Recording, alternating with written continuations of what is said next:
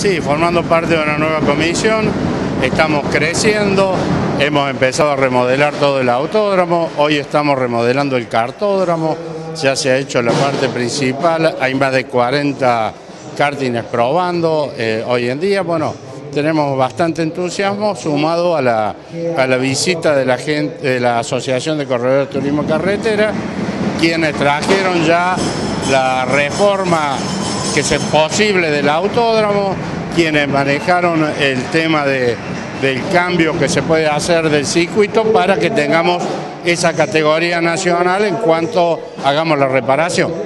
Más allá de Córdoba Pista, ¿hay alguna otra categoría confirmada para el 2018? Bueno, está Picer, están las motos, están el Top Race, están las distintas categorías nacionales. Nos falta el turismo de carretera. Las demás categorías estamos negociando para tener un calendario bastante extenso durante todo el año y entre karting y motos y autos tener por lo menos tres fechas en forma mensual en el autódromo. ¿Hubo algún contacto con la gente de Turismo Nacional y de Top Race? Se está teniendo contacto, ya con la gente de Top Race se tuvo contacto y con la gente de Turismo Nacional también. El presidente está haciendo esa gestión. De hacer algunas gestiones para el 2018, algunas obras, ¿puede el 2019 retornar al TC? ¿Podemos abrigar una esperanza? Esa es la meta máxima. El tema es un tema presupuestario que vamos a tener que ser acompañados por las autoridades municipales, provinciales y nacionales.